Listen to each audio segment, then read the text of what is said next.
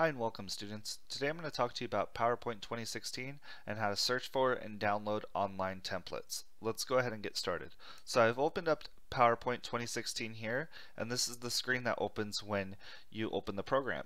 And so on the left side you see your recent programs, a way to open up other presentations, and then you see your list of templates here. Now a lot of people think that this list of templates is the entire list of templates offered in PowerPoint, but just like in any of the other Office applications, you could actually go right up here and you click in this search box to search for online templates and themes. So let's say that I want to click here and I could go ahead and type in a topic related to uh, anything that I want to create a presentation on. So let's say I was going to create a presentation on basketball for a school project. Well, I could go right here and type in basketball and then press enter. When I do that, it's going to search thousands of online templates and themes. So as, after it's done searching, you'll see that anything related to basketball will appear here. Now, along the category, along the right side, you could also see other categories related to what you've typed in there. For instance, there's eight on sports, and so I could click there to see more sports categories.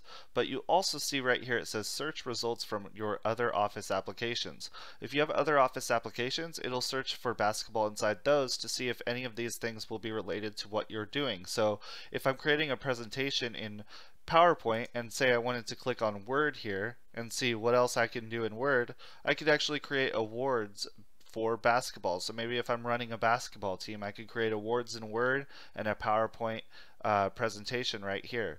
And then we see down here, Excel even has one. In, in Excel, it has the NCAA basketball tournament bracket. So if you wanted to create your own bracket for, say, March Madness, you could do it right here in Excel. So this process works the same in any of the Office applications. You just go right there, you type in what you want to search, we typed it in, we click it, and then we could click on the presentation and then go to create.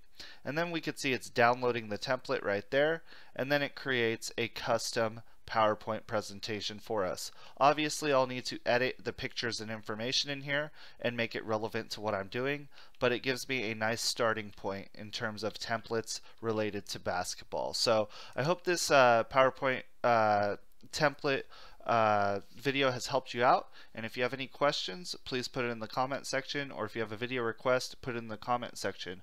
I have about uh, 10 other videos at, at this point on PowerPoint, so if you want to learn more about the presentation software offered by Microsoft, please click subscribe and check out that playlist. Thank you so much, and have a great day.